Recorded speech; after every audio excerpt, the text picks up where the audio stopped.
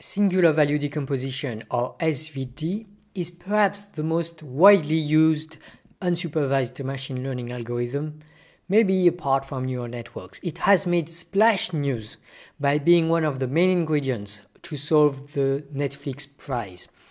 More generally, SVD has great applications in recommending systems which are at the core of many many business like Netflix, Amazon, YouTube and even Facebook, Twitter and Google. Big big money is at stake here. So what is SVD? Well, what SVD is going to focus on is some matrix. The columns of the matrix may be different movies while the rows are users and each entry could then be the rating of the column movies by the row users. And one of the classic problems of SVD is trying to predict unobserved data of this matrix or to make predictions for users or movies that have not come out yet. Now, the basic intuition of what we want to do is to regroup the movies into different categories like comedy, action, science fiction, and so on. However, crucially, we don't want to impose our own categories because our choices of categories are likely to be flawed. Instead, what we'd like to do is to characterize such categories by how users have rated them. Intuitively, two action movies will be loved and hated by the same kind of users. So, intuitively, if two columns are similar, then this means that the two movies belong to the same kind of movie categories. Similarly, we'll want to group our users into categories of users. And crucially, the way these groupings are going to be chosen will be data driven. That is, the movie and the user categories will be computed from our matrix. Slightly more formally, each movie will not be of one single category. Instead, each movie will be composed of different categories. In linear algebra, we have a very clever way to write this. We'll consider that each movie is a linear combination of basis unit vectors where the basis unit vectors corresponds to the categories we want to highlight. Intuitively, typically, a movie can be half comedy and half action.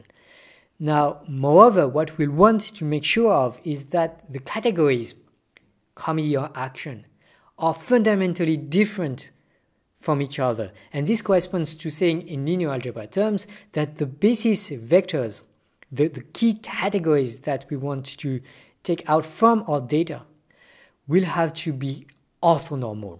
And so the set of categories will have to form an orthonormal basis.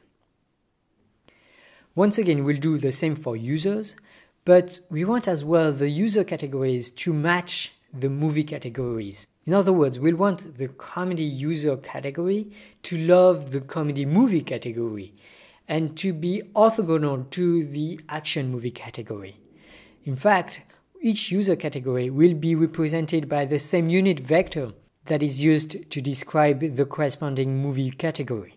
And each user will be a linear combination of user categories.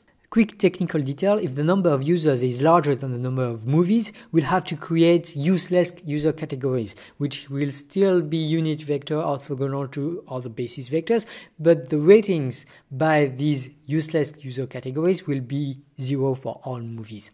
That's just a technical detail. And crucially, given the decomposition of a movie and a user, we can estimate the rating of the user of the movie by some sort of scalar product U transpose M, which is obtained by multiplying the corresponding coefficients, alpha 1, beta 1, alpha 2, beta 2, and by multiplying each of these coefficients by some so-called singular value, which compute how a user of category I rates a movie of category I. The breathtaking theorem of SVD asserts that there is an essentially unique way to determine categories the way we intend to. More precisely, any rectangular matrix M can be factorized as a product X sigma Y transposed, where sigma is a non-negative diagonal square matrix attached to a rectangular zero matrix.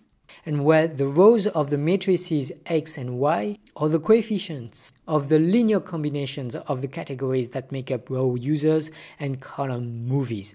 And we want these linear combinations to be normalized in the sense that the sum of their square needs to be equal to 1. Uh, actually, we demand slightly more than that, but basically this boils down to saying that the matrices X and Y need to be orthogonal matrices. Now, one cool thing about SVD is that up to some technicalities, SVD is unique. More precisely, if we demand the diagonal matrix to order its diagonal entries in a descending order, then all SVDs must yield the same diagonal matrix sigma.